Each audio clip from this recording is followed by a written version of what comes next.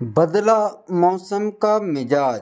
Hello किसान भाइयों, जो किसान भाई फ़सल कटाई कर रहे हैं या फ़सल कटाई की सोच रहे हैं, इस वीडियो को पूरा ज़रूर देख लें, क्योंकि मौसम ने अपना मिजाज चेंज कर लिया है। सावधान, आज और कल होने वाली है बारिश। ओले गिरने की भी संभावना बताई जा रही है। दिल्ली, एमपी समेत कई राज्यों में अलर्ट जारी किया गया है।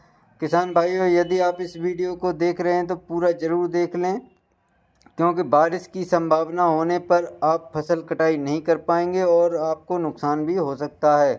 तो बारिश की संभावना मध्य प्रदेश के कई राज्यों में दिखाई दे रहा है, जिसमें कि मुरैना, ग्वालियर, भिंड, भोपाल, होशंगाबाद, नर्मदापुरम, इंदौर, शाजापुर इन इलाकों में हल्की बारिश होने की संभावना बताई जा रही है। साथ ही साथ मध्य प्रदेश के दक्षिणी इलाकों में ओले गिरने की भी संभावना बताई जा रही है।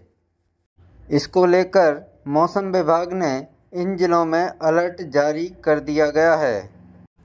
बहुत तेज़ हवा चलने की भी बताई जा रही है, क्योंकि जम्मू कश्मीर में बर्फ़बारी के आसार हैं तो सर्दी के भी आसार बढ़ने की संभावना बताई जा रही है। अगले 24 घंटों के अंदर जम्मू कश्मीर में बर्फ़बारी होने की संभावना बताई है। मौसम विभाग द्वारा यह जानकारी दी गई है। साथ ही साथ 28 फरवरी को आंशिक रूप से बादल छाए रहेंगे और कहीं कहीं हल्की बारिश होने की तो जो किसान भाई फ़सल कटाई की सोच रहे हैं तो मौसम के अनुसार अपनी तैयारी करें, क्योंकि यदि पानी आ जाएगा तो फ़सल कटी खेत में रखी रहेगी, ख़राब हो जाएगी तो उस हिसाब से अपनी तैयारी करें।